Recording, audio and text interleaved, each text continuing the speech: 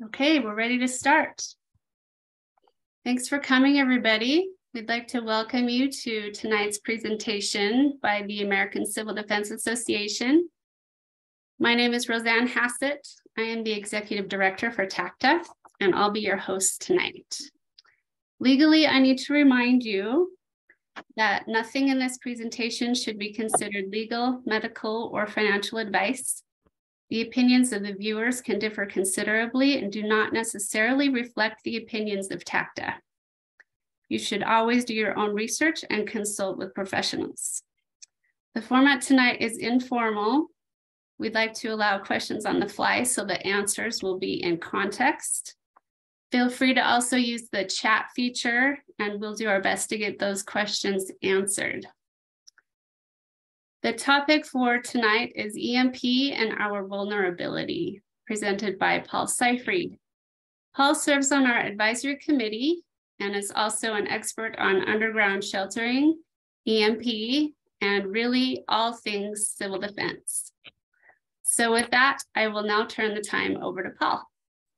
Okay, Thank you very much, Roseanne. Um,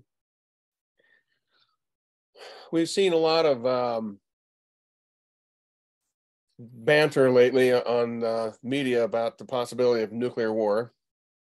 And uh, I think it's a good time to review a little bit about um, what EMP is because EMP represents such a, a huge threat to the United States uh, because we are a very electronic society. Everything in our lives is, is governed by electronics.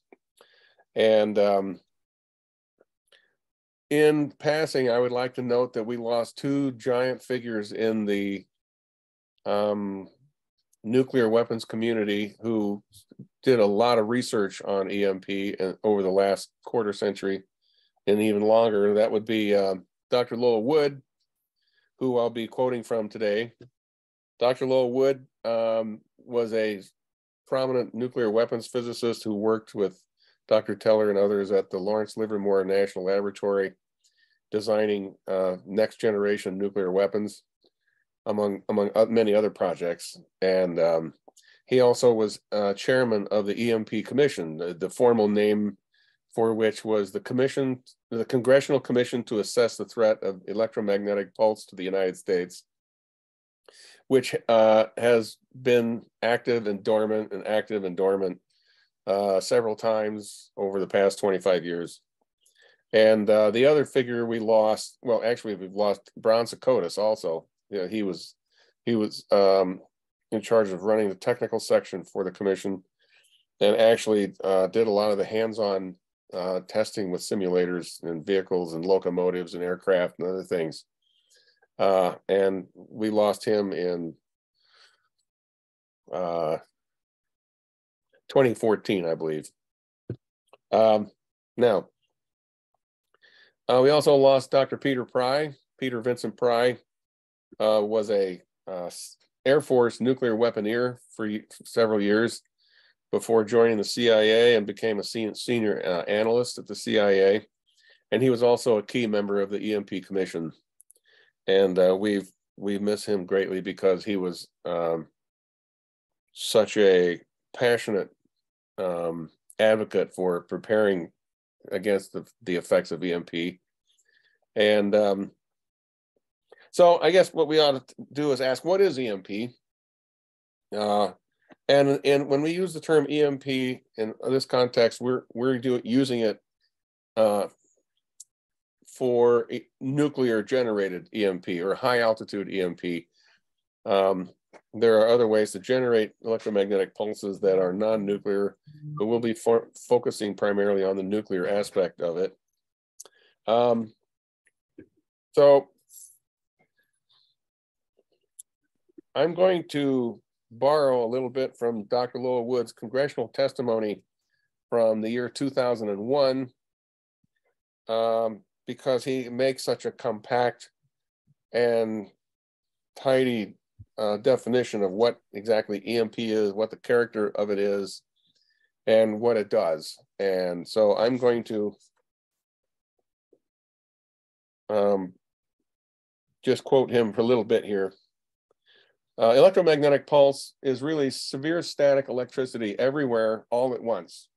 Without needing to understand the undeniability, Uh, the undeniably esoteric means by which EMP arises in various military circumstances, it suffices to recall that it presents itself as something closely akin to static electricity, extremely intense, but exceedingly brief, everywhere within line of sight to a high altitude nuclear explosion all at once. This static electric electricity pulse is carried on radio frequency electromagnetic waves of uniquely high intensity. The bomb's extraordinarily intense prompt radiations essentially transform the entire atmosphere underneath it into a gigantic radio transmitter antenna, radiating at maximum possible intensity for a very brief interval. The firebombs or the bomb's fireball expanding rapidly in the presence of the Earth's magnetic field gives rise to a second manifestation of EMP, which is of particular significance for long metallic lines, such as electrical and telephone systems. Extended metallic structures within line of sight of the explosion, telephone and electrical lines, radio and TV antenna, fence wires, etc., then serve to gather up the broadcast energy of EMP and deliver it into whatever they connect to, often with locally ruinous results which appear retrospectively to the basically sim to the basically similar to those resulting from a lightning strike. However, since the damage occurs thousands of times more swiftly than does that of a lightning strike, most types of lightning protective devices are essentially useless. Since it travels at the speed of light, EMP arrives essentially instantaneously from the general direction of the explosion. EMP can blanket an entire US sized continent from a single source, EMP originates primarily in the interaction of gamma radiation from a nuclear explosion with the Earth's atmosphere at altitudes of a few dozen kilometers and propagates predominantly toward the Earth's surface. The low frequency, long time component of EMP arises from the fireball interactions with the Earth's magnetic field, as already noted. Thus, you can readily see a bomb's explosion of a few hundred kilometers above the central US from anywhere in the lower 48 the EMP arising from that explosion's interactions with the Earth's atmosphere can also see you. To be sure, at greater distances, the intensity of the pulse will be somewhat smaller, but usually not as indicated by the familiar inverse square of the distance law. Likewise, its severity is generally not well relegated to the yield or total energy production of the bomb. The initial sharpness of the EMP usually depends on rather sensitively on esoteric aspects of the bomb's design and operation. Low yield, especially designed bombs, may pose as large or even larger EMP threats at both low and high electromagnetic frequencies as do high yield ordinary ones. So we can see there that a nuclear weapon doesn't necessarily have to be in the multi-megaton range or the megaton range to cause a great deal of damage that even a weapon, say in, in a, a 10 kiloton size, like the, the of the type uh, used on the attacks of Japan, um, can also create a great deal of havoc on the ground. Um, EMP is much greater threat to very large electrical systems than it is to small ones.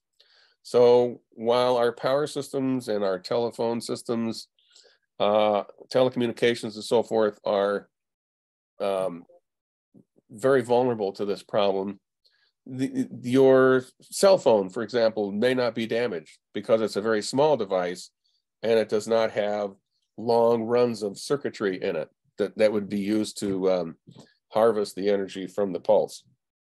Uh, laptop computers may even survive. In fact, I've seen tests um, of laptops and handheld radios that were exposed to 50,000 volts per square meter in a simulator um, work just fine afterward. Although the laptop had to be rebooted, uh, it had to be turned off and rebooted, and it came up and worked just fine. So I guess what we're trying to say is that the main problem that we're going to have with EMP is what it does to the critical infrastructure that supports our lifestyle. And um, I guess we ought to ask ourselves who who is capable of of causing an EMP attack on the United States? And the answer would be anyone who can lift a nuclear device over the target, which would be the United States. So uh, we we've seen the um, recent press coverage of the Chinese spy balloon drifting all across the United States uh, recently, and um, a lot of banter has been um, seen about the possibility of using a balloon for an EMP attack, and that's certainly possible. But if someone were to use an EMP um, device trans transported by a balloon, the effects would not be nearly as far reaching as they would be if it was uh, it launched by a rocket into space. So were, were that balloon to be used for an EMP attack, the size of the geographical area affected would be maybe the size of the Ohio Valley, for example, from um, maybe eight, eight to 10 states would be uh, knocked out. Um, the secondary effects from an attack like that would would probably cause a cascading effect on the other power grids that are connected to those local grids. But eh, oh yeah, and the um, the effects themselves, the harshness and the duration of the uh, E1 and E2 and E3 uh, portions of the pulse would be uh, limited in scope. So the damage wouldn't be as severe, but it would still be catastrophic. Um, so those the countries that could do that to us would be primarily Russia, China, North Korea, Pakistan, the UK, France, India, and Israel. Now, a few of those countries don't have to worry about because at this time they're friendly countries toward the United States, but uh, the others, um, well, especially North Korea and China and Russia, of course, can can uh, have the have the technical means to do that. Uh, and I would like to point out that the Russians, realizing that uh, EMP represented a, a, great threat to their infrastructure, uh, also realized that it created a great potential for military use against its enemies, like the United States.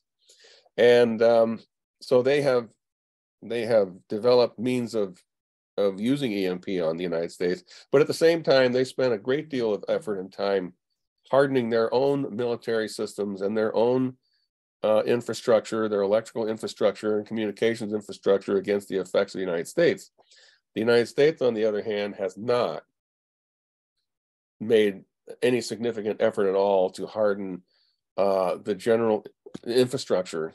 Um, only the strategic nuclear forces uh, of the Air Force and the Navy have have uh, hardened hardened systems, but um, the power the the electrical uh, providers in the United States and the telecommunications industry have not made any significant effort toward hardening their systems.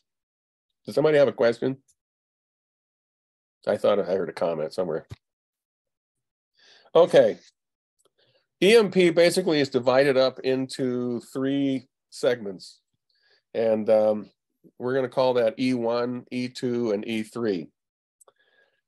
uh, E1 is particularly dangerous to electronic systems because the rise time on E1 is so very fast, which is somewhere between one and five nanoseconds or five billionths of a second. And um, the, the surge protection devices that are installed on the power grid and in uh, other smaller systems to uh, protect systems against the effects of lightning, you generally clamp somewhere around 80 millionths of a second or longer, take 80 millionth second or, or longer to clamp. And um, the devices that are needed to protect against EMP have to clamp, you know, you, in less than five nanoseconds to um, achieve the desired effect. Um,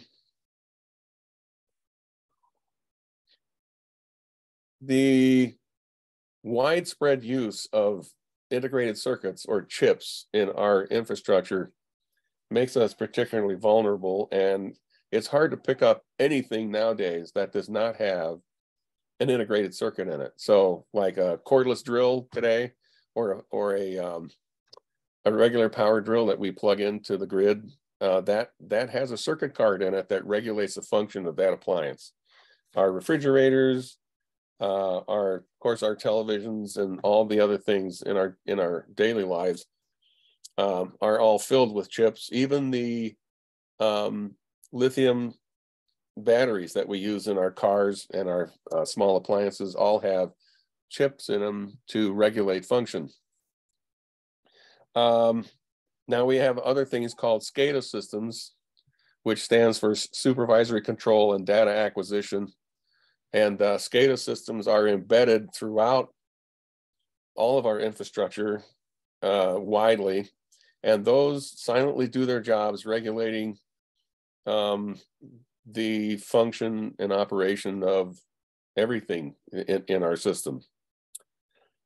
um, the one I want to draw attention to at the moment is the E3 effect. Um, E3 is the latent long-term effect that lasts up to 35 minutes, um, which in, it's caused by the the atmosphere, or the, I'm sorry, the the magnetic field of the Earth collapsing back in upon itself. Um, after it, it was been it's been disturbed by the the explosion in the upper atmosphere. So as the magnetic lines collapse back into their natural alignment, it induces these very powerful uh, low voltage but high amperage surges in long power lines. So instead of um, ten, uh, millions of volts per mile of power line uh, being absorbed, we're looking at tens of volts per mile, but thousands of amps. And um, this is the component that we see melting down uh, the 700 ton um, high voltage transformers at power plants, of which there are about 6,000 throughout the United States. Uh, and these are the transformers that take years to build and uh, are very difficult to replace. Uh, and I think only recently have we opened a plant in the United States that'll actually manufacture a, a high voltage uh, transformer. Most of them are made in Scandinavia or China and uh, take a long, long, long time to, to build. Um, but EMP, EMP E3 represents a direct threat to our homes. And uh, Bron Cikotas warned me about this in 2005 uh, and, and warned me that the E3 uh, phase would cause the wiring in our homes to glow for a significant period of time, like the wires in our toaster. Uh, and I thought about that, and that sounded that sounded pretty serious, but I I didn't I didn't have a a good picture of what that meant until I saw these photographs that were um, exhibited by Dr. Peter Vincent Pry. Uh, the, the pictures that you see on your screen right now are is are examples of household wiring that were um, basically set on fire during a simulation of E3 in a, in a national laboratory. So this, this is an actual EMP E3 test. And, um, you know, when, you, when we ask ourselves, where's, where's all of our emergency water, our emergency clothes, our food and, and, and so forth that we, you know, have put away for, for hard times, uh, well, it's probably in our house. And if this EMP effect causes our house to burn down and all of our supplies are in our house, that could be a problem. So what I would like to do is caution. Yes. Um, is your screen advancing or is the PowerPoint advancing? Uh, no, I, I have not asked for it to be advanced. Oh, got it. Thank you. Okay.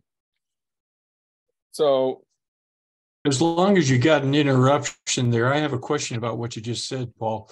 Okay. If you were to connect your home at the main switch where it enters the house, would that alleviate setting the wiring on fire or would it couple just through the house itself and still set it on fire?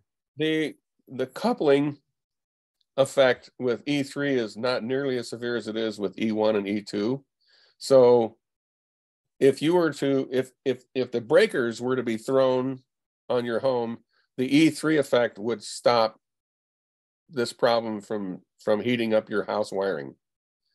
Um, now, if you're on off-grid solar, then this is not a problem to you because it is the surge that is collected by the entire grid that is the main problem here.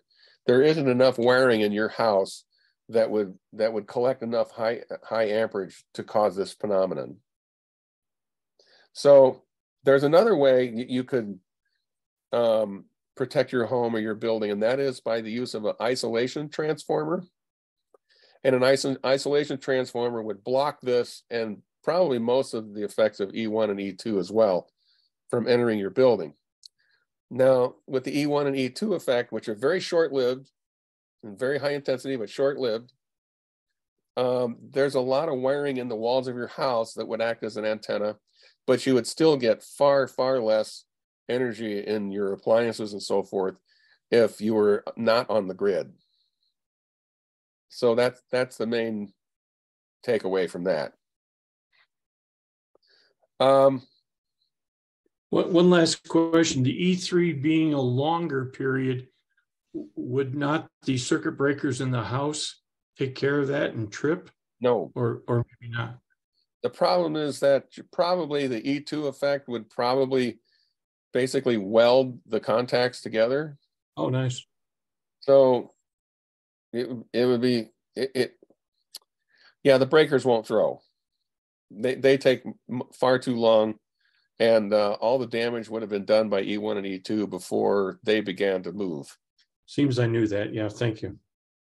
Um, now, in 2014, uh, Bron Cikotas came and made a presentation to TACDA about EMP and coronal mass ejection. And uh, it was outstanding presentation. And then we we retired to the Hires restaurant up on 7th East for a hamburger and some of the people on this on this in this meeting were there.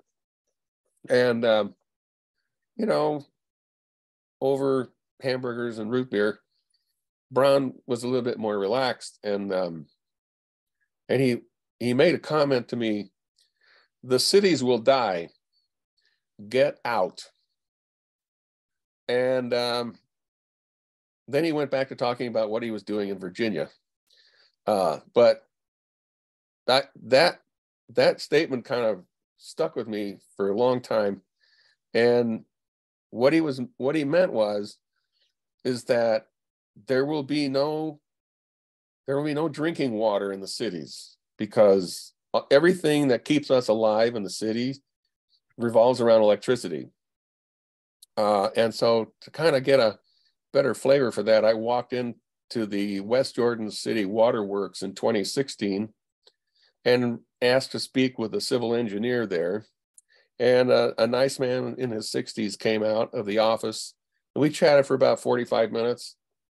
And uh, after he was satisfied that I wasn't there to learn how to sabotage the water system, he he told me that we get 82% of our drinking water in West Jordan or basically the valley, the Wasatch Front, gets 82% of its drinking water from the reservoirs, uh, Deer Creek, Jordanelle, Pineview, and um, we get 18% of West Jordan water from the wells. Well, they don't like to run the wells unless they have to, perhaps in the summertime to meet extra demand for sprinklers and so forth, because it pulls the contaminated aquifer from the Kennecott copper operation closer to the city. So they use the wells only if they have to.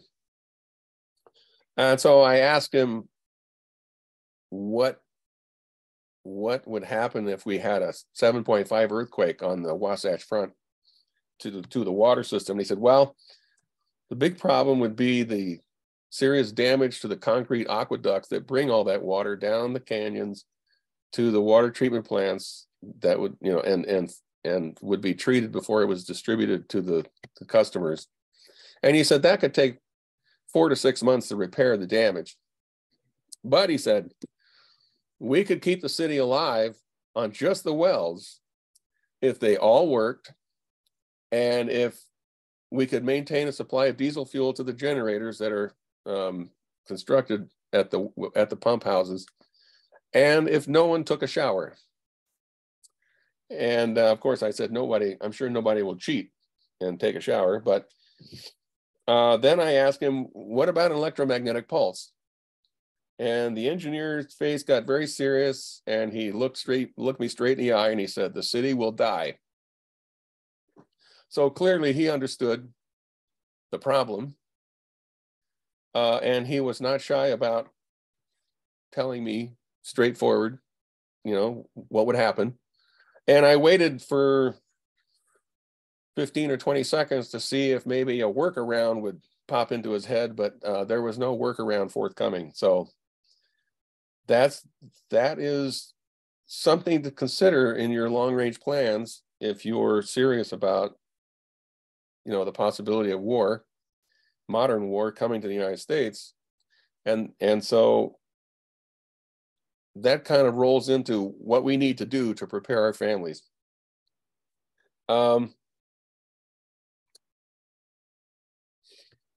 a couple of years ago, while I was filling up my truck at the Costco gas station, uh, I spoke to one of the attendants there and um, I asked him how often they got a tanker truck there to uh, replenish the supply at the station. And he says he gets four double tankers a day to keep that gas station running. So in a 12 hour shift, he gets he gets four double tankers. That's a tanker every three hours to keep those those customers happy, which kind of illustrates to me the fragility of the supply chains that we have grown so accustomed to relying on. Um, So what we need to do going forward is to acquire, first of all, a safe, reliable, robust, and permanent water source because there will be no water coming out of our faucets for the rest of our lives. And of course,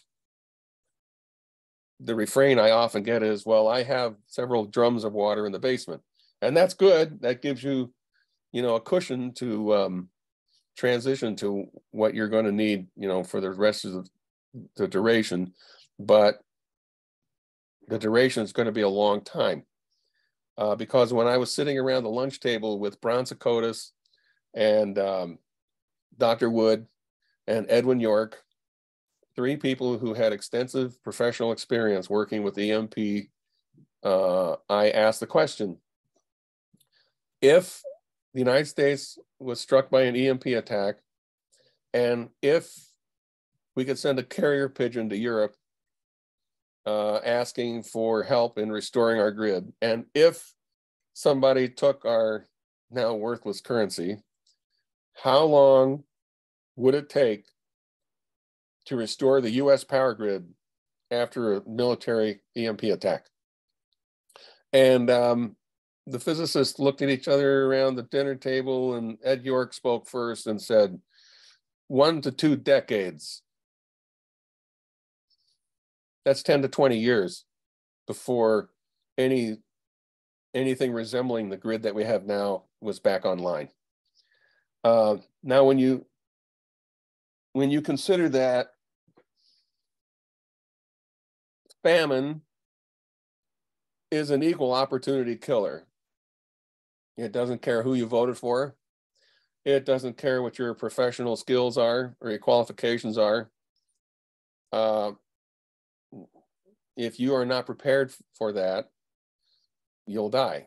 And famine is not a word that is often found in the American lexicon. we have not had a famine in basically any any of our nation's history nothing certainly nothing like the asians experienced over the you know last 20 centuries um, so that that would become a, a reality if our supply chains became interrupted by something like EMP. Um, so what you need is to have all the supplies that you're going to need, the medications, the food, the water that you're going to need for the rest of your life. And that's that's kind of a daunting problem because the supply chains are so long and so sophisticated and are uh, controlled by the sophisticated communication systems and the data transmission systems and the financial systems. You know the your average meal travels uh, uh, 1400 miles on seven different diesel powered trucks before it arrives at your grocery store. And then you're going to get in your your automobile and drive to the store and purchase it uh, so you're going to have to make other arrangements for everything you need if, if war comes to the United States. Uh, also, you need to consider that all the men and women who understand the construction of power plants, networks, uh, high voltage cable splicing, um, all the esoteric aspects of, of constructing and operating a power grid, all the supply chains to the power generators, the natural gas, the coal, the nuclear fuels, the lubricants, all the things that are necessary to run a power plant. All those are going to be interrupted. So you have to stand up all those systems too. So the interdependability of all these different systems uh, is a very complex thing, and it doesn't take much to interrupt that. Um, you're going to have to have your own alternative power, which brings us to solar. And um, the good news about solar power is that your solar panel is inherently resistant to the effects of electromagnetic pulse. Um, that is as long as the wiring on your panel is not exposed. So what you need to do when you're building your solar power system, or if you already have a solar power system, is you need to shield the wiring um, that brings power from the panel to the charge controller. I would shield all the wiring that you can in your structure. Uh, then that would prevent the signal from coupling to that wiring and being um, transported into the devices where it could do damage. That's a, that's the simplest and least expensive thing you can do. There are surge suppressors that are available that will actually you know defeat E1 and E2 components of EMP, but I, that's beyond the scope of my knowledge. And uh, I have tried to pry information out of people who do understand that that sort of thing, and they they are very stingy about revealing what they know. And um, those individuals happen to work for a company called Sol-Ark, S O L A R K.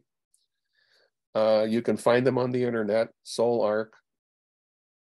Uh, they, th this, they're a company that is made up of engineers who worked on EMP hardening for the military and now manufacture uh, solar powered home energy systems, and they manufacture uh, large inverters up to 20,000 watts with pure sine wave capability.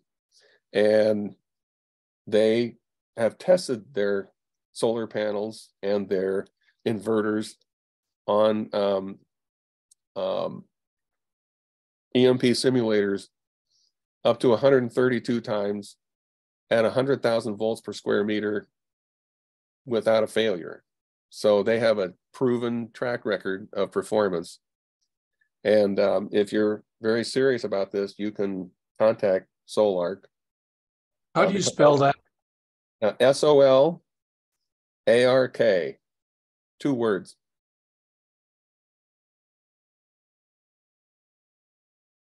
Um, I spoke with Tom at a preparedness expo years ago for about four hours, and uh, he definitely uh, seemed to know what he was about. Um, he has several videos on YouTube. Uh, so you can look up Sol-Ark YouTube videos and they, they have some informative videos where they actually show the testing of handheld radios, laptops, light bulbs, uh, inverters, other things on, on the video.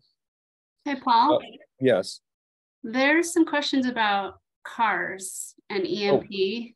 good. People want to know if their car will be affected by an EMP if it is off. Or another question is how to restart a car that has been affected by EMP if it's possible. Fabulous question. Um, Bron Cikotas actually oversaw the testing of mm, several dozen different cars, uh, locomotives, uh, diesel trucks, um, aircraft, so forth. And his his advice to me was that none of the cars that were not running at the time of the insult were affected cars that were sitting at rest, engine turned off, started and ran normally. So that's good news. He also said that 94% of the national light vehicle fleet are expected to survive the effects of EMP. Um, vulnerability depends on year, make, and model, which he would not talk much about. Uh, it depends on the orientation of the vehicle to the source of the EMP. It depends on whether or not it is shielded by a large building or a mountain between Omaha, Nebraska, let's say, and the West Coast. Um, it depends on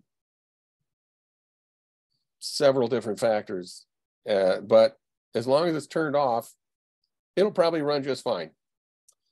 Of the vehicles that were running at the time of the insult, some of them kept running and some of them stopped, but could readily be restarted and would run normally. The, a lot of the ancillary systems on the vehicle, such as the intermittent wipers, the radios, uh, most of the small lights failed, but the drivetrain kept functioning.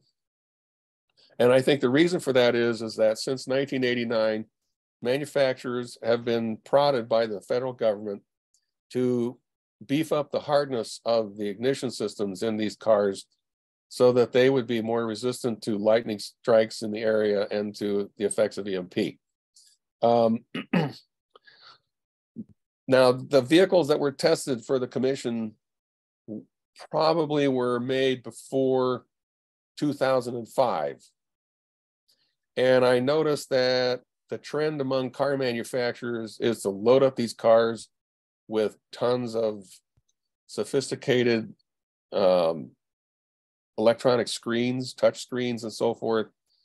A lot of gadgetry, and I suspect that that will not fare well uh, in an EMP effect, uh, attack. Now, he did concede to me that Dodge products were the worst of the vehicles that they tested.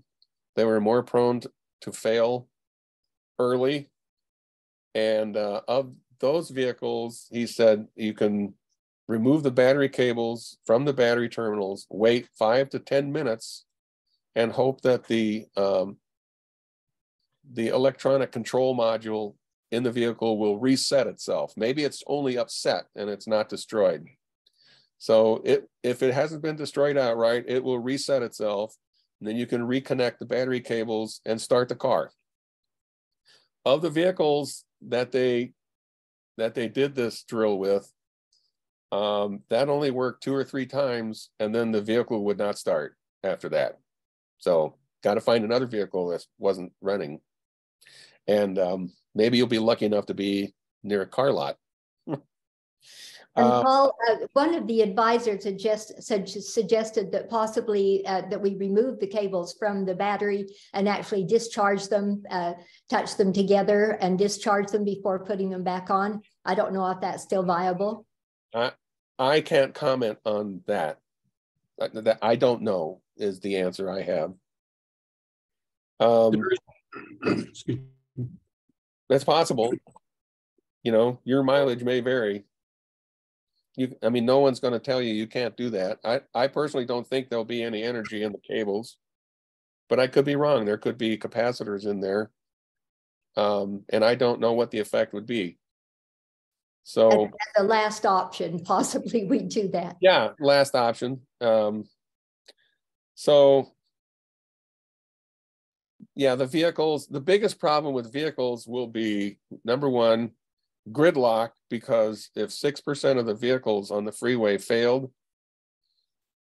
Um, you can imagine the problem that you would have on a, a multi-lane interstate highway, especially if the, the, the highway were hemmed in by sound walls. You know, there'd be nowhere to go. Um, and the other problem is the, in, the unavailability of fuel because it takes electricity to pump fuel. And um, without electricity, get, you know, getting that, the fuel remaining in the, in the gas station tanks would be very problematic and dangerous. Um, Paul, yes, we're coming up on um forty-five minutes into our presentation. You Wow, probably where's the still have a bunch of points to talk about. Would you like me to run through your slides real fast and see if you, if you talked about everything you wanted to, or do you want to just um yeah, let's. give let's another fifteen minutes on what your um whatever, Let's go ahead and do that. okay? Well, on uh, vehicles, there is a product from EMP Doctor, which has been put into the notes that you can connect across your battery that has a fast enough response time to short circuit the E1, E2, and E3 completely before it ever gets into the vehicle. And that product is available. I, I am not an electrical engineer. We have an electrical engineer um, that I can talk to about that. Well, the guy who who um, is marketing it was a uh, he's a he has a doctorate and he used to work with NASA, so he has some qualifications. Um, seems pretty reasonable. I I bought the product. It's not cheap, but it maybe gives you some Yeah, better. that's, that's. Dr. Yeah, that's Dr. Arthur Bradley. He is a NASA PhD. And uh, I'm an architect for off-grid and high-security homes. And we work with uh, Dr. Bradley for a number of our clients. Uh, He's a first-rate gentleman, very easy to speak to. And um, he has videos on YouTube. If you scroll up through the, the chat, I, I've linked to his webpage on YouTube. And he's a great resource. I um, highly encourage everyone to reach out to. I get no money from Yeah. I, I can hear that the guy, the guy seems very reasonable and, and he shows you how he tests his equipment with uh, signal generators and things like that. Doug, who are, who do you work with? What, do- who are your clients? So I, I, um, I'm a self-employed architect that started working with hardened structures, hardened shelters back in twenty twelve.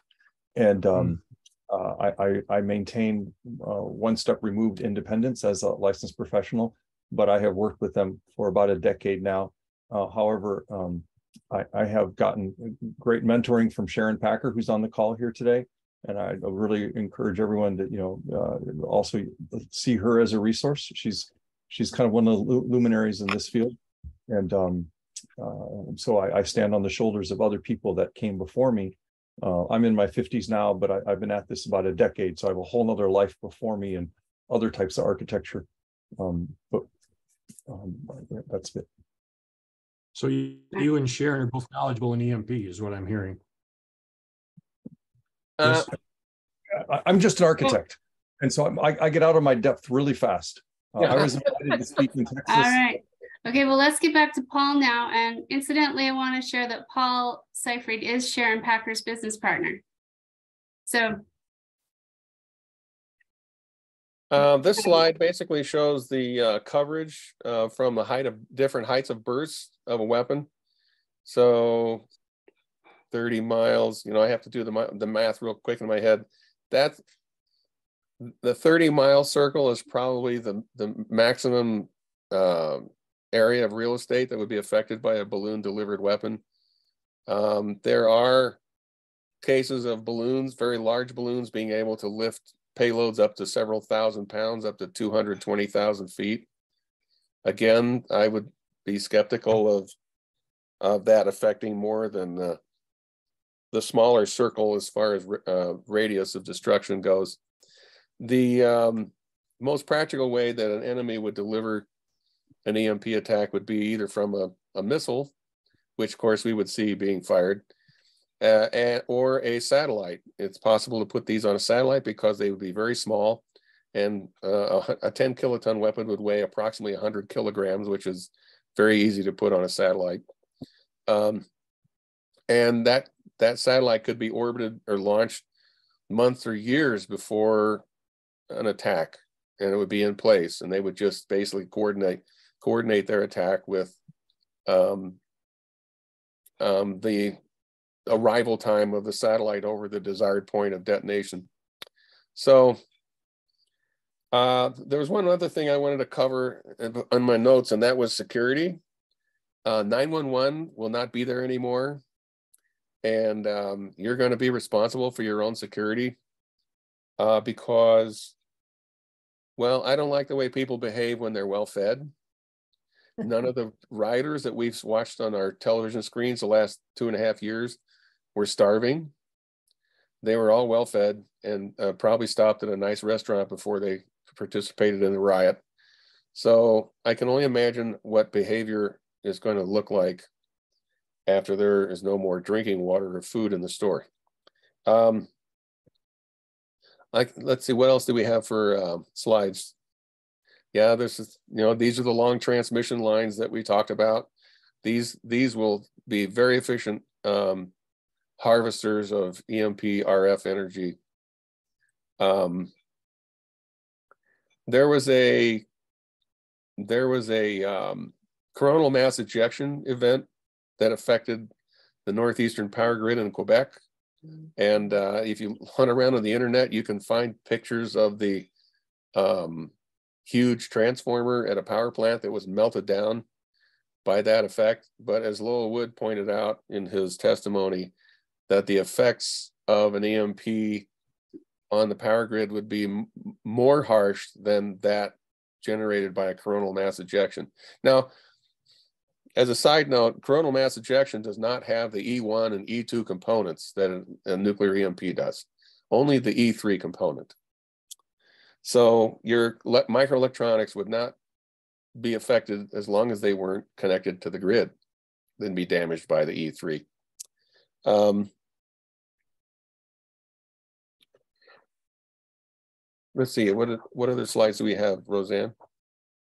Mm, got another one? About that? I- That doesn't trigger anything. All right, Um, thank you. there is one. There is one paragraph that would.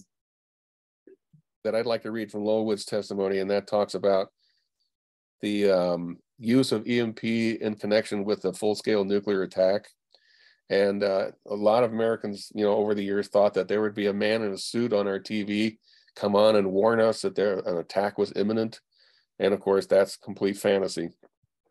Uh, so what Lowell Wood said was Soviet strategic force. Now, this is in 2001. So this is after the collapse, 10 years, 11 years after the collapse. And so you have to, you know, take the take that into context when you listen to this. Soviet strategic strike forces characteristically have featured weaponry well suited to efficient EMP generation over exceptionally wide areas. That EMP strike component exists today in the Russian strategic order of battle, moreover, likely at its maximum Cold War strength. I very confidently predict that it will be one of the last features of Soviet strategic nuclear weaponry to be retired from the Russian strategic force structure.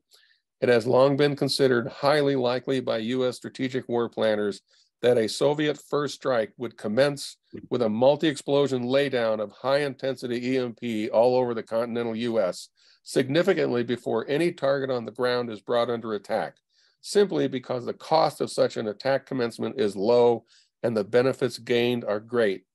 Indeed, recollections of strategic war games long past have, as a major, major common feature, the beginning of the game with a massive Soviet EMP laydown all over the US, followed immediately by an extended timeout while the game's referees rip up huge handfuls of US military capability of all types and throw it away as EMP ruined. So it is a very, it is a very potent um, weapon.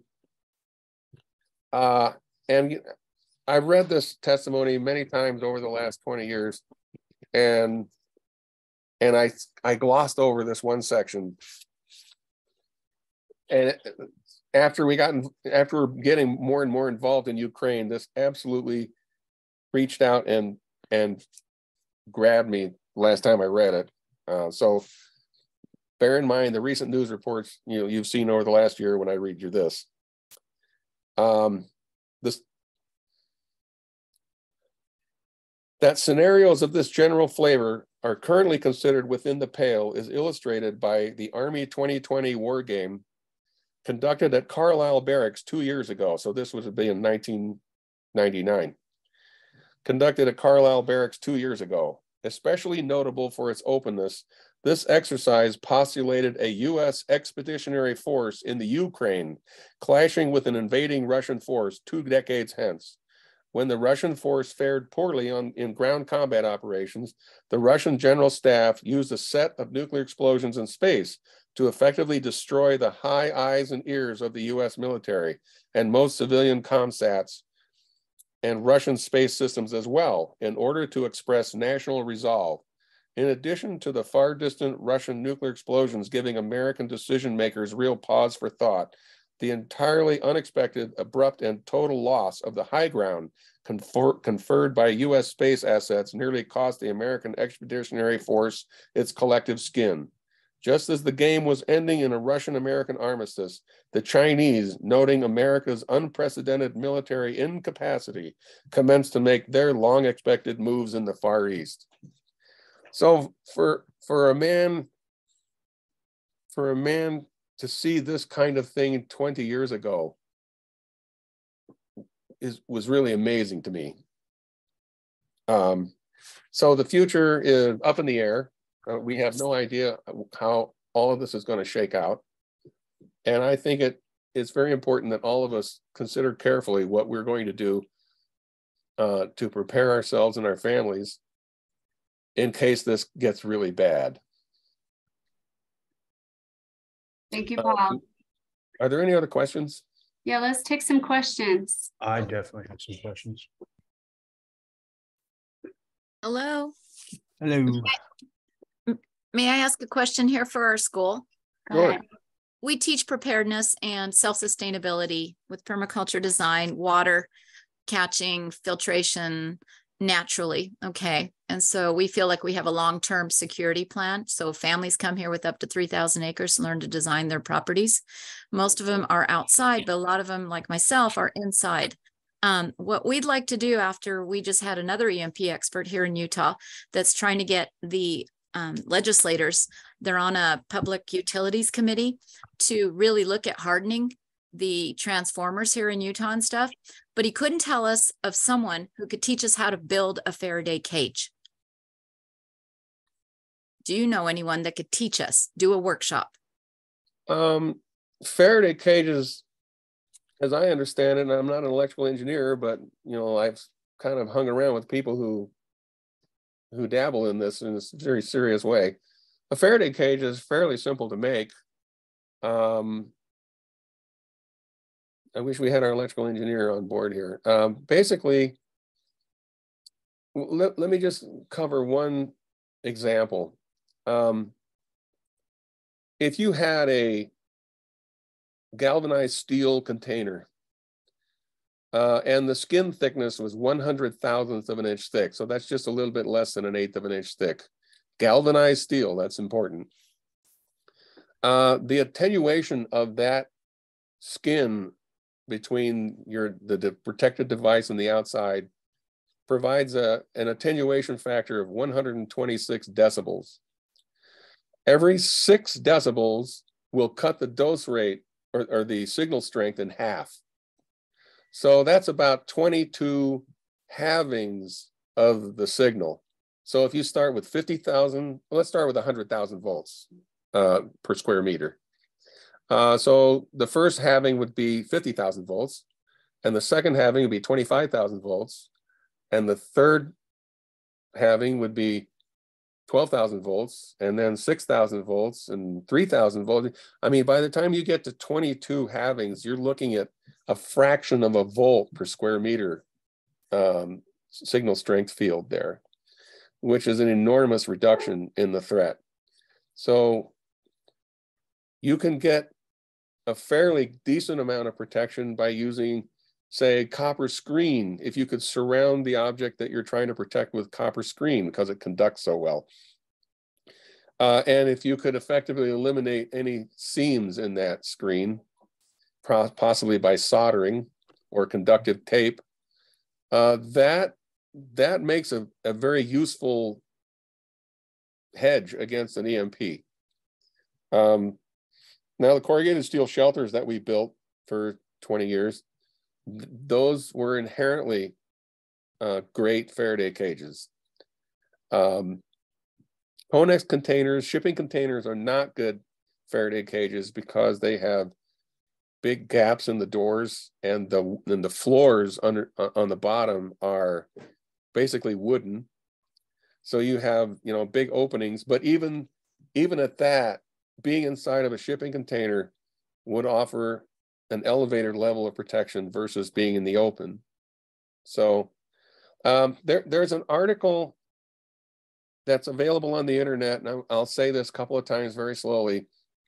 It's called An Introduction to Nuclear Electromagnetic Pulse. An Introduction to Nuclear Electromagnetic Pulse by Future Science, magazine. Uh, and the author's name is Jerry Emanuelson. Two, I think uh, one M. Jerry Emanuelson. And um, when you're surfing around trying to find it, um, the first page will have a kind of a weird artist rendering of an EMP and it has a very dark blue purplish hue to the page. That's it right there. Thank you for bringing that up. That is a very, very good report to read. Also on that front page that you see the blue, uh, it, it has a number of links that are highlighted in blue.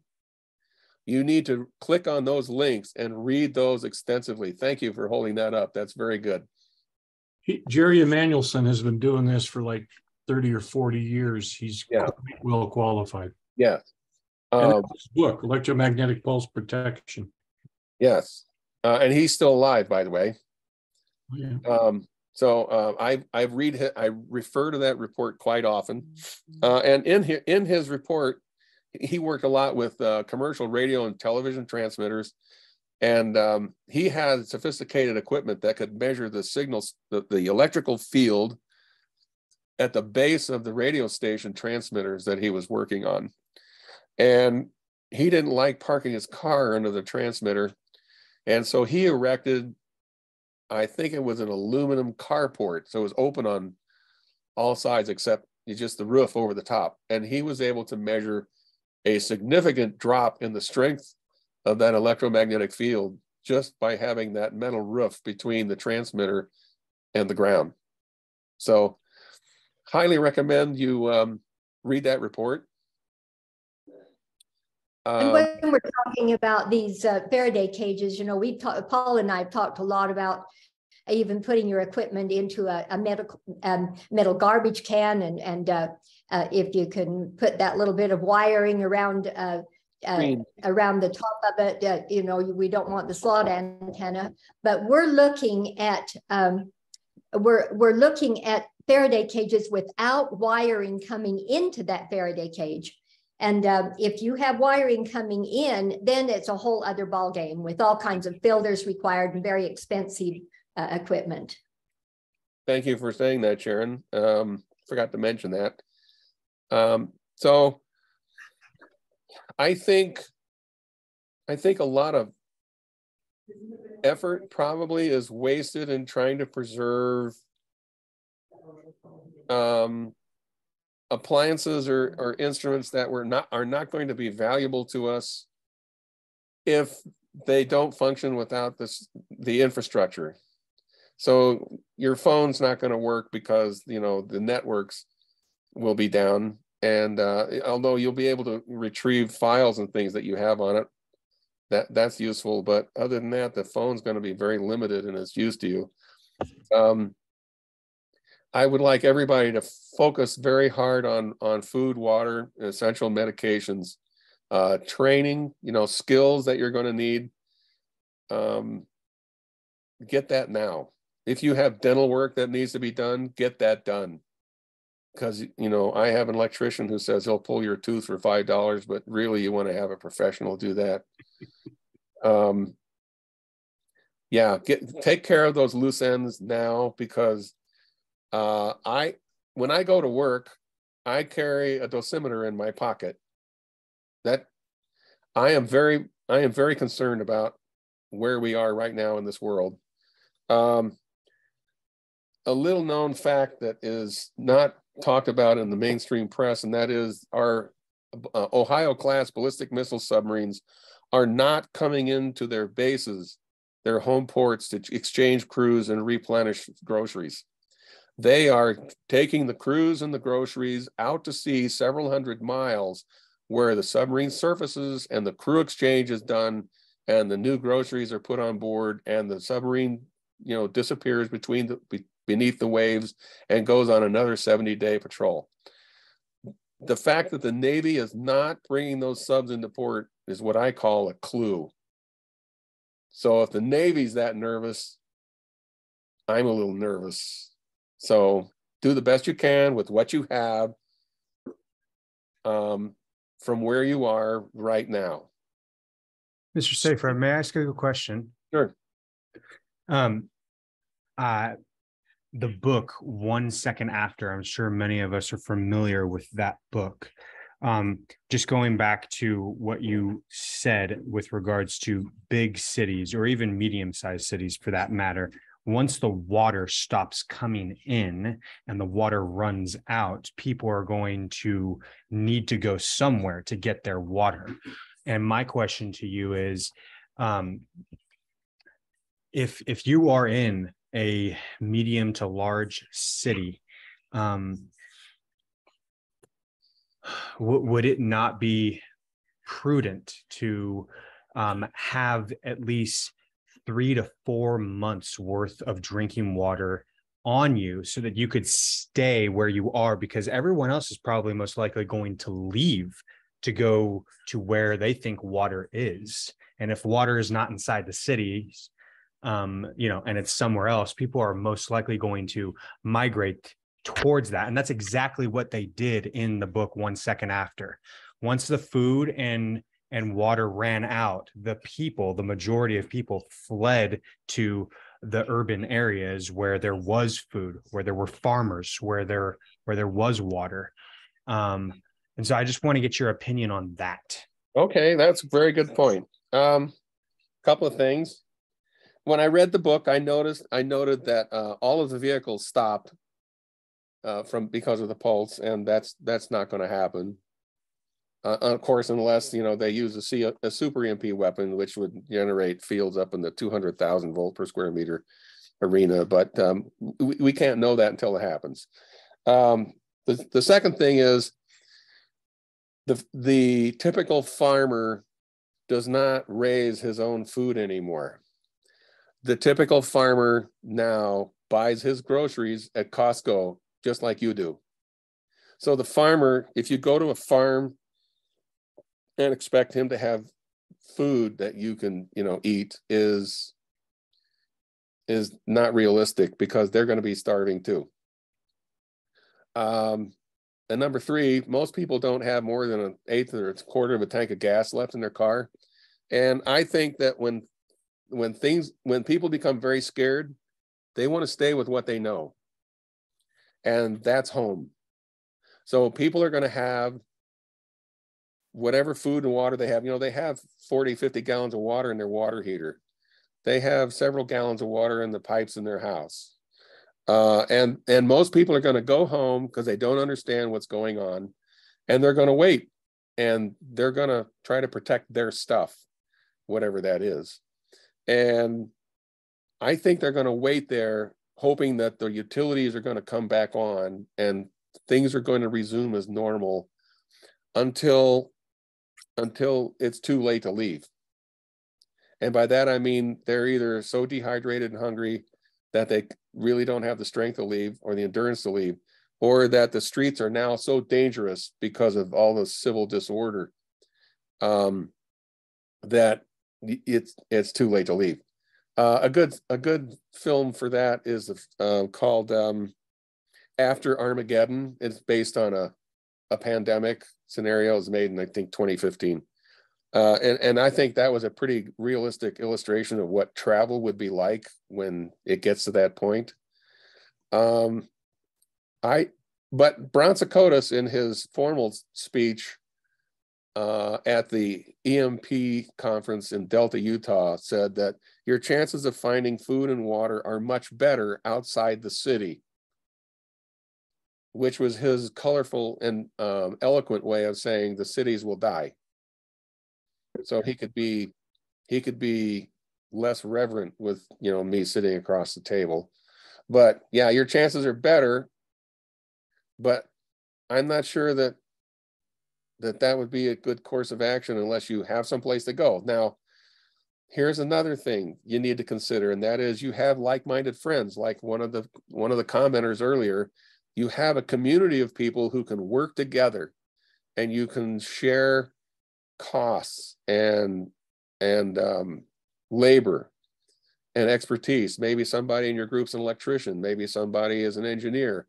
You know, we need to use those resources to to have a rural place where we have water, rather surface water or a well. That reminds me, you better have spare well motors because if those are connected to the grid, they're toast and you're going to have to replace it. And if it's not connected to the grid, they wear out eventually anyway, and the well motor store will be closed then. But you need to have a place where you have pre-positioned equipment, medical, um, clothing, shoes, fuel, everything that you're going to need. And and so in, if you have to evacuate, you want to have a place to go because just wandering around, you know, wandering around in rural areas not going to yield very good results. Yeah. May, may I speak to this, please? Sure. Thank you. So I, I was um, U.S. Army infantry from 1983 to 1995, and so I, I spent a fair amount of time carrying a backpack. Um, I got away from that and went to gray bearded green beret survival class four days three nights in tennessee and got rained on and frozen for those days and at the end of the class we had a debrief and i talked about the asked asked the instructor about this topic you know about the bugging out topic because we were carrying about 50 pounds of gear not including food and there was very few of us that could cover the distance with the equipment um, and the instructor who does this professionally and has been Green Beret Ranger, and he's he's in my age category. He's you know approaching 50 now. Um, he said your best place to be is to make your home work. Okay. Yes. So I uh, we we moved rural. We moved from San Francisco to rural Oregon, far out out edge of Josephine County and we had our own well and our own septic and land to do permaculture, which I, there's a permaculture group on here. I highly support permaculture concepts and I have some links in the chat you can find for that. So the ability to provide your own water on a well, exactly what you said, back it up with a manual pump. I, put, put a link in here for that. Those are all essential things. But if you're caught in the urban grid, um, you still do have your, your social network there, but you won't have water and so you can live three days, three minutes without air, three days without water, three weeks without food. Does you? And so we all get worried about food and ammo, but air and water have got to be your highest two priorities. And if your if your air is contaminated, which we just saw in Palestine, Ohio, and everybody upstream of that, which I have a client in that range, and I had to check the flights to make sure I wasn't going the wrong place.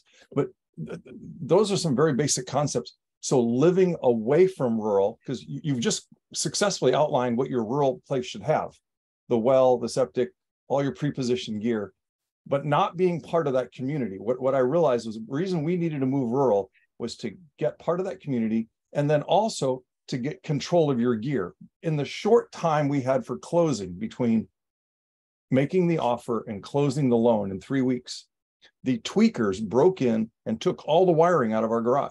Oh. And so we had, I mean, even even the even the cable from the from the opener to the outlet. So I had to replace the opener because they cut they cut. And so th- this this the uh, rural America has changed. You know, it, it, it's not as safe as it was when I was a kid. So we now have the the crystal meth creates this person that's called the tweaker. They don't sleep, they stay up all night and they they they tear things apart and, and they break into homes and they take vehicles. And so if you're not boots on the ground to protect your stuff, it's not going to be there when you get there. And so Um, there's Well, in our experience, we've got good neighbors that look out for each other and we're far off the road where we can't be seen. And it, it's a lot of work to get into where we are. So tweakers don't like to do a lot of work. But you did raise a very good point, and that is most of us are not twenty-year-old infantrymen anymore. yes. And a lot of either. us, a lot of us have enjoyed the benefits of fine restaurants for a- a period of decades. And so, um, being able to w- walk with fifty pounds, ago, well, most of us are not accustomed to twelve hours of hard work, say in the summer or winter. You know, if we think we're gonna grow our own food, you know, most of the people who are serious about this are 50, 60, 70 years old. And we're not used to farming with a hoe and a pick and carrying water for 12 hours a day. Okay, so even young families though, we we moved to rural Oregon as a family with a toddler and my wife expecting number two. We didn't have the time or energy to plant the traditional garden. But permaculture, when you start planting, first you start working on all your your perennials, your, your orchard trees, and okay, what's what works in our your grapevines and blackberries and things that are going to be native to your your uh, your climate. Um, when you get those things established, you get a good base of some, and then look look at what the locals do. Some of the locals have chickens, some of the locals have goats, and networking with those folks, and then you learn. So a lot of the local people are more preppers than we'll ever be because they just live that way for the last Yeah. 40 years. And so Point. It's Um, almost over, baby. we- Shut the door because the bugs are just swarming out here. We've made a, a conscious Come effort. let me to show you. meld Come in- here. Go ahead.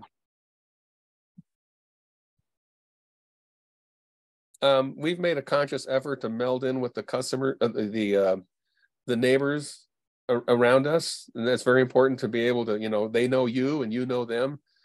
Uh, because when this gets bad, it's gonna take a cooperative effort. The confrontation is not what we want. We want to cooperate with the people around us. 100%. Yeah. Yes, thank you so much for that answer. I really appreciate it, guys. Is there a way for TACDA members in the same vicinity to be able to contact one another to establish that community?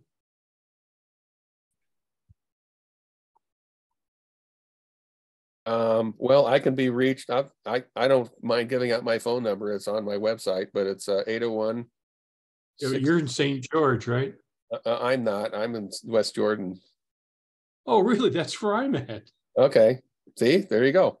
So my, What's um, your phone number again? Paul, 801 yes, Paul, this is going to be on YouTube, so you might want, you might not want to give your phone number like that. okay, thank you.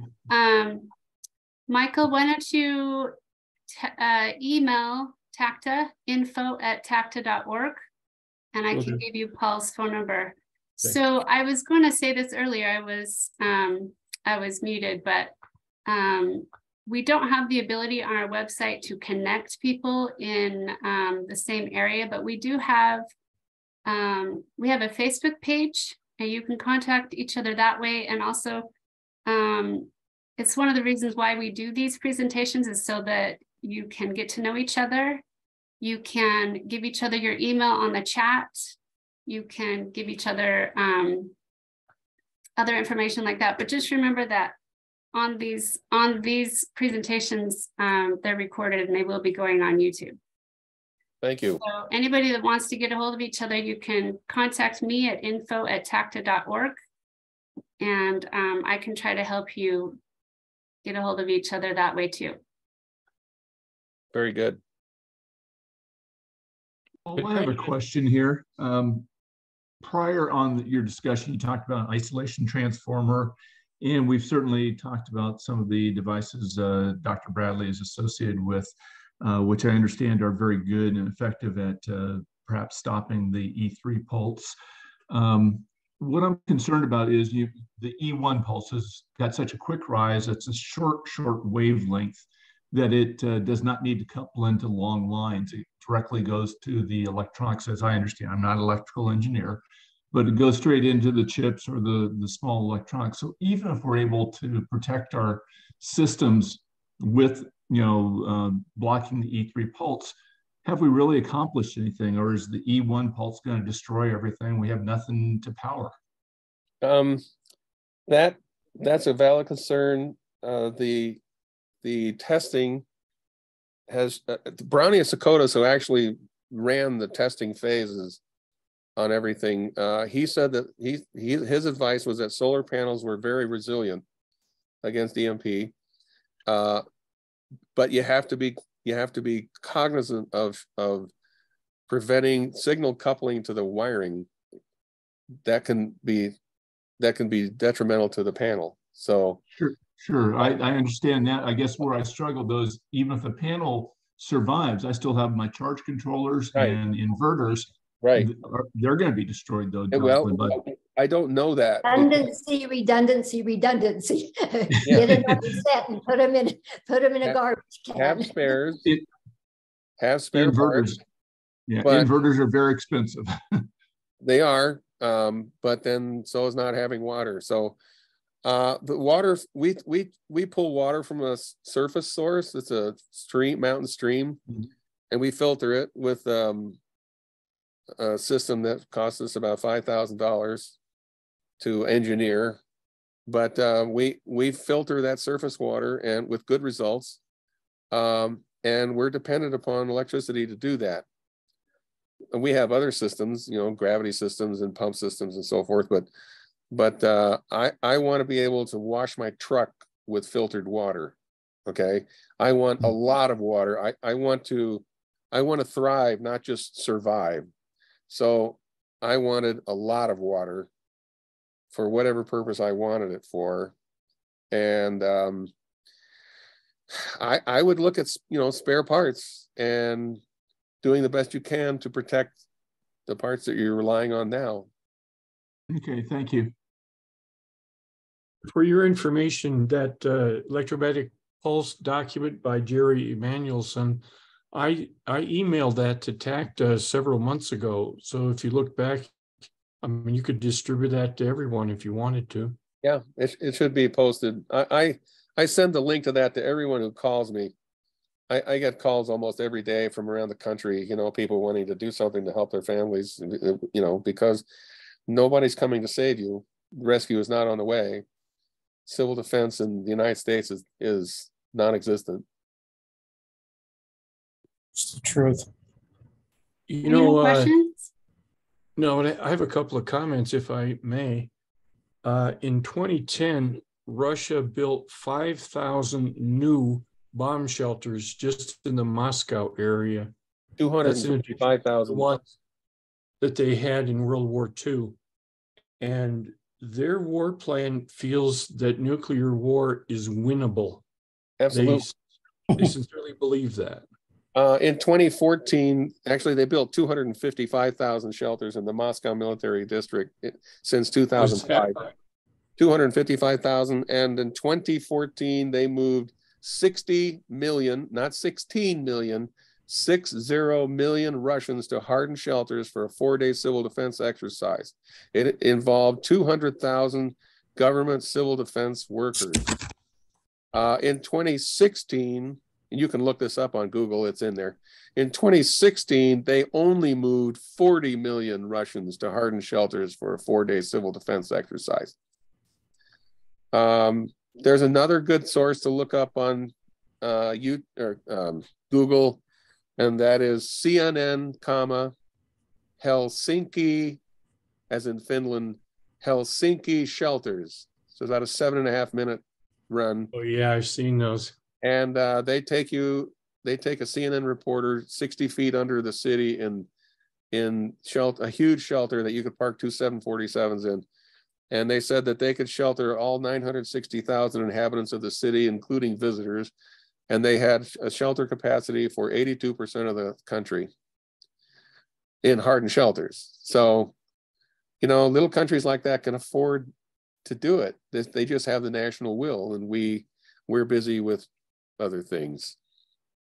Well, they live right next door to Russia, and they lived through World War II. We well, so do we. We live right next to Russia too, because the flight time is about the same. Uh, what, what, one other thing I'll add just to let everybody be cheerful, and I just read this about twenty minutes ago that um, NATO is concerned that Russia has uh, dispatched or launched all of their submarines, all of them. That could be posturing.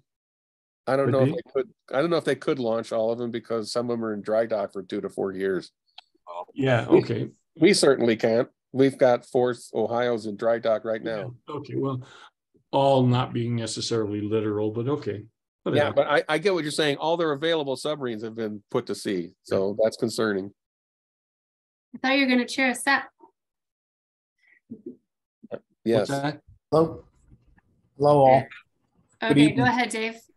Uh, If I, uh, by the way, my name's Dave Staples. This is my first time on your chat with uh, the Zoom call. Is it true that the Russians had, uh, they conducted their dr- uh, uh, nuclear fallout drills last week? The entire country? I don't, I don't know that. I haven't seen that, anything like that. Uh, Somebody told me that tonight and I'm like, they did that all week? It, it wouldn't surprise me at all. Uh, I know that six months ago, the Swiss government told all their citizens to clean out their bomb shelters and make them ready. That's ridiculous. Um, uh, Roseanne, Yes, uh, can I show a card? a card. A card, my card? On, on, Uh, you can, as long as you don't mind it being shown on YouTube a lot of times. I don't care. I don't care. What is the card?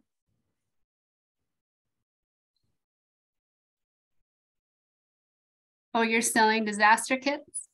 Yeah, disaster kits and solar panels, Okay. small and, and small. I think everybody should have, uh, you know, you were talking about water. You can't store enough water. I mean, you, you need to have somewhere to purify your water, either Yep. from rainwater or ponds or something, because just, just to look at some of the stuff going on, you, we can't, you can't store enough water. Nope. So you need to be able to purify it. I don't know if it's gonna cost you five thousand dollars or not for a reverse osmosis or maybe even a small Sawyer or something, just to be ready. I, you know, Well, it, it concerns me about what's going on. it's, I- it's, It really does. the Sawyer is a very good portable filter system. Um, but I'm interested in seven or eight gallons a minute. Well, Yeah. that's a lot of water. It's a lot of water.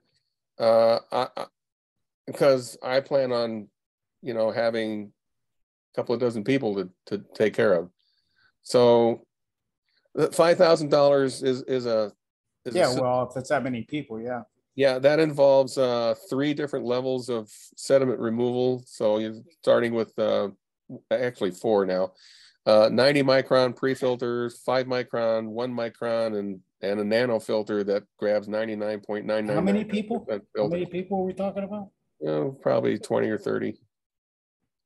So got to have a lot of water, Just for- and You that's a just lot of minimum thirty gallons a day. If you So that's just- that, One just, gallon per person per day.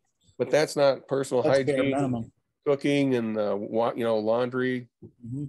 And don't get me started on the importance of personal hygiene. I mean, the Napoleon. Well, we gotta be clean. I know that. yeah, you got to stay clean. So, um, the the Afrika Korps in World War II was um, rendered in, inoperative because the British forces kept the Germans on the run to the point where they couldn't launder their clothes and their underwear, and they all had uh, horrible skin diseases uh, where we won't talk about.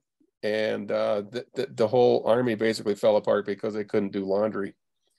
Um, Napoleon's army was destroyed by a little uh, animal called the louse, uh, and they they got typhus in Poland, and uh, Napoleon went into Russia with six hundred and fifty thousand troops. And he came home with less than uh, five thousand, and a year later, only one thousand could report for duty. So, um, personal hygiene and, and, uh, healthcare is extremely important. But yeah, we, you, you understand the water thing very well. Oh, yeah, very well. Yes. I'm from South Florida. I mean, you know, we get hurricanes every year now. So, I mean, we need water. Sometimes you got too much water. There's never too much. All right, any more questions? I posted a link to the water filter that we recommend for clients and that we actually had at our home in Oregon. Our, our well had a, uh, an issue and we were prescribed this uh, multi-canister filtration plus UV light filter. Um, and so uh, it, the, the one I, I linked up above is the high flow one that would get that seven or eight gallons per minute that Paul is referring to. Uh, it did cost us over twelve hundred dollars, like seventeen hundred installed.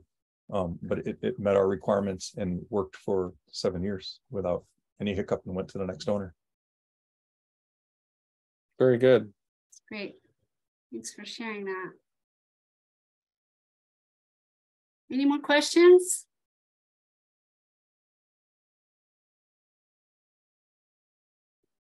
Have we satisfied everybody, really? We won't Sleep for a while. What's that? We're not going to be sleeping well for a while.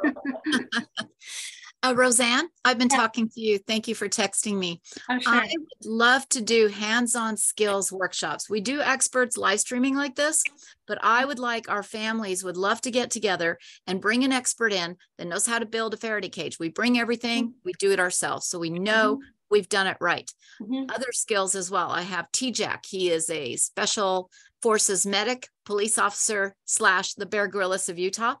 Uh, he does amazing primitive skills and everything else. He has a YouTube channel as well, TJack and others. Um, I would love to do hands-on stuff. How about everybody else? Do you guys ever do that with TACDA? Yeah, that'd be good. Sure. What are you saying? You, you would like to present something or you would like something presented to you in person? So we'd like to do it together in person. And we would all, like you guys have experts, we have experts. We would all pick a different subject that everybody wants to come and learn. And we throw a workshop with the expert. Like Mhm. we used to do at preparedness fairs, but we don't do it anymore. Right. You can't get enough training in, um, medical. I think it's a great, it's, it's a great opportunity. Yes. Um, email me and we'll set something up and we will, we'll, um, film it for our members at TACDA so you can all benefit from it. Okay. Um. I suppose that most of the people on this chat own a firearm, and if you do, I would urge you to um get competent professional law enforcement training. Because you cannot afford to have an accident. You cannot afford an accident. So if you, because there won't be any level one trauma centers available. So an ounce of prevention is worth a ton of cure in this regard. You say law enforcement training? You need, What- you want a law, Or you you want could- a law enforcement trainer, a professional trainer who That's right. teaches law enforcement. So I Okay, go to my police station to get that? no, no, uh, I can recommend to you a number of law enforcement trainers, but these are people who are serious trainers Okay, and, and, um, you don't want the guy who's just, he's a gun enthusiast and hung a shingle out and now I'm a gun instructor. So if you live in Utah, can you share who that would be or do you need to do that? And Um, yeah, um.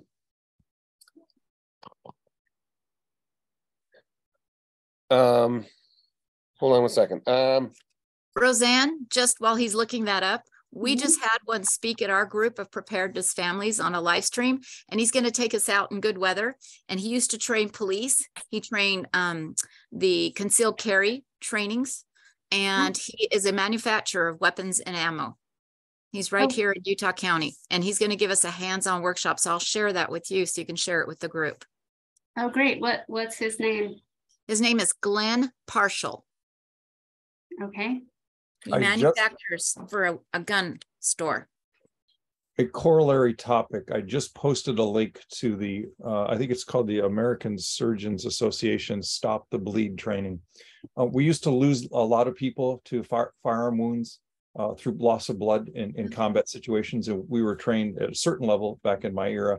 But since the war on terror, Afghan and uh, Iraq, those theaters, we've learned a lot more about keeping people alive with tourniquets and wound packing and quick clot clotting agents, chemicals that cause the blood to clot to get people temporary stability until they get to the real uh, uh, trauma center. So Stop the Bleed is a one day seminar that's offered around the country. It's like a 12 hour seminar to get you the basics of what would be a two week seminar for what's called TCCC, Tactical Combat Casualty Care. And we took that for our church security training. They actually brought in sides of pork and had them ballistically damaged, both fire, firearm and knife wounds, and we learned how to wound pack. We learned how to do tourniquets on each other. This was the next tier after taking a full uh, first for, uh, uh Red Cross first aid training with a full CPR thing. That this is your next tier training, um, because if you're handling firearms, most of us that are in that world also carry what's called an IFAK, an individual first aid kit, which is now available in like an ankle bracelet size now, so that if you had something go wrong, you can you can self-treat and stabilize before you you know you can bleed out before you get to the hospital. If we can stop that they can keep you alive. Absolutely. I'm glad you brought up the tourniquets. I carry an ifak in the cargo pocket of my work pants every day because if i need a tourniquet i need it right now. 100% 100%, we do the same thing. I, I, I walk to school it cannot be in the trunk of my car i need it now need it right now I'm the only person at work. I work in a pharmaceutical packaging plant, and uh, we have moving machinery all over the place. And, and, if you're around, yeah, if you're around children, you need a different one. There, there, because the standard one doesn't go down to a, a small child size injury, and so you can research that online. But there is another brand that has a, a, a, it's, it's very good for children. But I didn't know that so the, the the the standard cat tourniquet, the black one that we all see, it doesn't cinch down small enough for small children. And I can't remember. My pack is in the car for my. I have a school walking group, and I wear a backpack with a first aid kit in it. There's another. There's another one that the green gray bearded green beret recommended for small children and animals. Uh, and I'm sorry, I don't know the name, but we bought. They were more expensive. We bought a couple. I'll, I'll shut up. Um. Hey, um, Paul. Yes. We've got a question from Blade. Blade, did you have a question? You've got your virtual hand raised. You're muted. I didn't see that. Yes, can you hear me? Yes. Present. Yes. Oh, uh, my, sorry. Hold on, Bill. My question was, uh, what what would be the effects of an EMP on a barndominium uh, a metal house um, in in your opinion? Um, the structure that we have is a metal all metal building. Uh, it yeah. does it does attenuate the effects of EMP to a certain degree. I, I don't have the instruments that measure that. I, I can't quantify it, but it does help. Uh, we had to install a uh, cellular repeater on the building so that we could get phone calls in and out of the building reliably. So yeah, metal, metal, a metal building helps, of course, but of course, you'll if you have grid power coming into the building, that is going to conduct all that energy into your appliances anyway. The we've installed the uh, the EMP blocker, that E1, E2, E3 blocker on the uh, circuit breaker main panel. Yeah, the isolation transformer. Yes. Yes, that would that would go a long way to protect your stuff. Fantastic. Thank you for your time. Thank you, Blade. Bill, did you have a comment? Yes, uh, I don't know how many's familiar with this, but uh, the Survival Medicine uh, Handbook is an excellent, excellent book. It's pretty thick. You can see I've used it a bit. I can see uh, that. but it's uh, Dr. Bones uh, you can get him on the internet. It's a excellent, excellent uh, resource. I think I met him at a preparedness fair a long time ago. Yeah, they also do big medical kits. They're a bit expensive, but uh, a lot of uh, thought has gone into uh, the preparation of those kits. Mm-hmm. I have a couple of them. I, I have the large one, yeah. Yeah.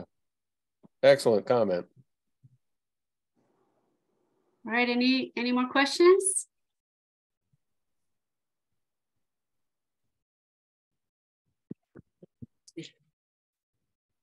I have a question. Go ahead. Hey, it's Richard Beitendorf, Paul. So you talked about an isolation transformer. Um, or is there some, is there a manufacturer that typically you can get those from, or where can you get something like that? Uh, I think you'd have to talk to a qualified electrician. I'm sure they know what they are. I am not an electrician. Okay. I will look into it. Is it possible that the notes in the chat would be available to us? I am going to, uh, I'm going to work on getting those. There's a lot of comments, so I think it'll be, um, it'll be good to have those saved. So I'll post them with the link to the YouTube video. But you know, do you know what a snipping tool is? Mhm. That I was trying to do that with the snipping tool and I somehow I, I, I lost the chat. I don't know. where- Well, there, it's, it's, um, it's kind of going like crazy, so it's hard to, it's hard to snip and keep up. In closing, uh, I would like to say that in around two thousand three or four, Sharon Packer and I were summoned to the state of New Jersey to train a couple of hundred FEMA trainers, FEMA disaster planners for the state. And uh, they asked us to talk about um, shelter concepts, uh, weapons effects, and EMP problems. And uh, we thought that all these trainers were going to be bored and doodling on their notepads and going to sleep. But we were surprised by the fact that only two of them out of the group had heard of EMP. And they were riveted by the discussion on weapons effects and shelter design concepts. Nobody, they took careful notes, they paid attention, except their boss stayed out in the hall the, the whole time and, and made conversation with a couple of uh, aides.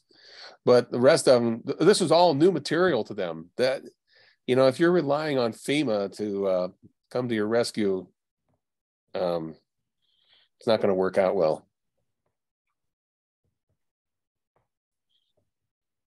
Very true. We like to say that civil defense begins at home. Yes. All right. Any other questions? We still have a lot of people here. You're hanging out I for your another question? comment. Um, I just went to my doctor and uh, the comment was made uh, in the chat that we're going to need antibiotics more than anything because indeed infection will be a problem. I just went to my doctor and said, hey, uh, uh, let's see, you gave me ciprofloxacin and another one, and uh, he gave me a prescription with six refills for those two antibiotics. And I just stocked up on them for my kids.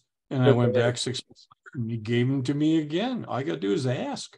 I mean, not every doctor's going to do that, but You have a good doctor. I know. Yeah. Well, Yeah. Is is there, a A is lot there of a doctors shelf life? won't. you know, Is I- there a shelf life or refrigeration concern with modern antibiotics? Uh, the military spent a couple of hundred million dollars researching how long their antibiotics would actually last versus the expiration date, because they were throwing away about five billion dollars worth of antibiotics every year. And they found out that most antibiotics retain their potency uh, at least fifteen years and probably twenty, except doxycycline and tetracycline become toxic a year after the expiration date. So they, they'll hurt you, but uh, the other ones, you just need to use a little bit more of it to get the same effect. Um, my doctor, I've Go been ahead. told that uh, that is no longer true with doxycycline. Uh, doxycycline, in fact, the government just uh, extended their uh, supply for five years. Huh. Uh, The newer uh, formula they're using, the way they're preparing the doxycycline works now. okay, that's good to know. Also, uh, you can get five, if you're familiar with the uh, article that uh, uh, the female doctor wrote, uh, Armageddon Medicine. She says there's seven antibiotics you should try to get. Jase Medical, uh, you can get it, J-A-S-E medical.com will give you five of those seven. Uh, you call in, you have a, a short conference with a physician, and they will send you a kit with those five medications in it. That's good to know. Thank you for get, uh, giving us that. Um, I was, my doctor won't, won't write me blanket bulk prescriptions anymore, but he used to. But we did build a shelter for a doctor in Montana. And uh, he asked us if there was anything he could do for us. And I said, well, as a matter of fact, uh, do you have your prescription pad? And he said, ah, yes, I do. So he wrote me nine bulk prescriptions for ciprofloxacin and cephalexin and um, all, all kinds of stuff. And um, I took I took the first three of them into a Costco pharmacist, and I said, "Can you fill these?" And he looked at them, and he handed them back to me and said, "No." Okay, thank you. So I went to the next Costco, and he looked at them and said, "Come back tomorrow." So I went back the next day, and there was a big bag of antibiotics there for me. And eventually, and over the period of two weeks, he filled all nine of them. You know, he wasn't shy about it. So, you know, if you don't succeed first, try and try again. All day chemist, you might try all day chemist too. For that, I, I was buying ivermectin from them for, for the last three years. I have a question about water. Um, hi, this is Dana. Can you hear me? Yes. My question is we've talked about purifying water, but I was wondering if anyone knows if there would be any impact on the safety of surface water after a nuclear attack. A good question. Um, there's a book called Nuclear War Survival Skills. They teach you how to build a, a crude filter from a five gallon bucket using soil, gravel, and towels. And it's uh, got to be a clay type soil. Yeah, clay type soil. Uh, we'll filter that will bind to the activator. Yeah, there there are ways to filter that, but I think if you have real good filters and carbon filter, you know, a big bulk carbon filter, um, and a good set a, a multi-layered sediment filter, that you'll be better. You know, you I don't think it'll be a major problem to you. It also depends on how deep that surface water is because you want the contaminants to settle to the bottom. Um, yeah, it's possible to filter that, but you know, it, what's the risk of not drinking any water? You know, the United Nations has a publication on how to build a water filtration system uh, that you can size to a family or an entire village and it was intended for use in Africa for communities to provide clean water. Uh, it's been years since I've seen that, but there's a, a manual that tells you how to do that. Mm-hmm. Thank you. I guess I was wondering if my Berkey would be enough for my Sawyer water filters, but I'm not sure. You know, they don't have Maybe clay. Filter it first. Uh, Dana, I just I just posted the uh, PDF for nuclear war survival skills in the chat if you'd like it. It's it's free via PDF. You do have to purchase the book though. Thank you so much. We sell the book on TACDA if you want the actual book on tacda.org. Also, we have an article called Radioactive Water that talks about contaminated water um, from radiation that you can find in our Journal of Civil Defense. And I'm looking for it right now, but if you just go to you you have to be you have to log in with your membership, but go to the journal archives and type in radioactive. You should be able to find it. Thank you. Yes. So, Excuse so me. If you build a water filter in nuclear war survival skills, you have to be very patient. it takes a long time. Paul, Paul, could you speak briefly to the, the rule of seven and 10 on radioactive decay? Okay, um, yeah. Or Sharon Packer, we have a nuclear engineer right here. She can do cover 710 even better than I can. Sharon? You're muted. You're muted. The basic uh, concept is that after seven hours, we lose 90% of the gamma radiation. But uh, here we're assuming one lay down. And so uh, I, I would assume that we would get most of our lay down within a day. But, but um, seven hours, we will lose 90%. After seven times seven hours, which is about two days, we lose another 90%. And after seven times two days, eh, which would be two weeks, then we lose another 90%. So that's that's a huge loss. And so those first few days are extremely important to us. And uh, a lot of you are shielding in basements and places that don't have a lot of shielding overhead. But if you can get internal shielding from the bottom up, something, a heavy, heavy table, like a pool table or something that you can put shielding on top, if you could stay there for the first two days, then it becomes a, a tolerable level once you get out. And, uh, and we recommend a couple of feet of concrete in your ceilings, which is just not practical for a lot of us, a lot of people. But, um, but if you will um, consider that quick uh, uh, decay attenuation, uh, you, you know that the little bit of shielding inside will will go a long ways. And you can stand anything. I mean you can live under a table for two days if you have enough water and a little bucket for sanitation.